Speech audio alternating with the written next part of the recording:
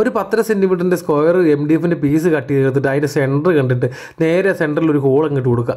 അതിനുശേഷം നേരെ പോയിട്ട് ഒരു മൂന്നര സെന്റിമീറ്ററിന്റെ സ്ക്വയർ പീസുകൾ എടുത്തുകൊണ്ട് വന്ന് വെച്ച് നേരെ ഓരോ കന വ്യത്യാസത്തിൽ നീളം കട്ട് ചെയ്ത് അങ്ങോട്ട് എടുക്കുക. അതിനുശേഷം നമ്മൾ ആദ്യം കട്ട് ചെയ്ത് വെച്ച പീസ് എടുത്ത് വെച്ച് അതിന് നാല് ചുറ്റും ഇതങ്ങോട്ട് ഓരോന്നോരോന്നായിട്ട് അങ്ങോട്ട് ഒട്ടിച്ചെടുക്കുക. ഒട്ടിച്ചെടുത്തിട്ട് നല്ലപോലെ പേപ്പർ പിടിച്ച് അതിന്റെ മുകളിലൂടെ കുറച്ച് സീലറും വലിച്ച് അങ്ങ് ഇട്ട് കഴിയുമ്പോഴത്തേക്ക് കാണാൻ നല്ല ഭംഗിയായിരിക്കും. അതിനുശേഷം നമ്മളൊരു ഓർഡർ എടുത്ത് അതിന്റെ നടുക്ക് അങ്ങ് തിരികെ കയറ്റി വെച്ച് നേരെ കൊണ്ടുവന്ന് ഒരു ബൾബും പിടിപ്പിച്ച് നേരെ ലൈറ്റായിട്ട് അങ്ങോട്ട് ഓണാക്കുക ഓണാക്കി കഴിയുമ്പോഴത്തേക്ക് ഇതേ അടിപൊളിയായിട്ട് നമുക്കൊരു ടേബിൾ ലാമ്പ് കിട്ടും. അതിന്റെ കൂടെ നിങ്ങൾക്ക് ഒരു കാര്യം കൂടെ ചെയ്യാം. ഒരു ചെറിയ മഞ്ഞ ബൾബോ അല്ലെങ്കിൽ റെഡ് ബൾബോ എടുത്ത് നൈറ്റ് ലൈറ്റായിട്ട് യൂസ് ചെയ്യാനും പറ്റും. അപ്പോൾ അടിപൊളി ഒരു ടേബിൾ ലൈറ്റ് നമുക്ക് നിസ്സാരമായിട്ട് ഉണ്ടാക്കിയെടുക്കാം.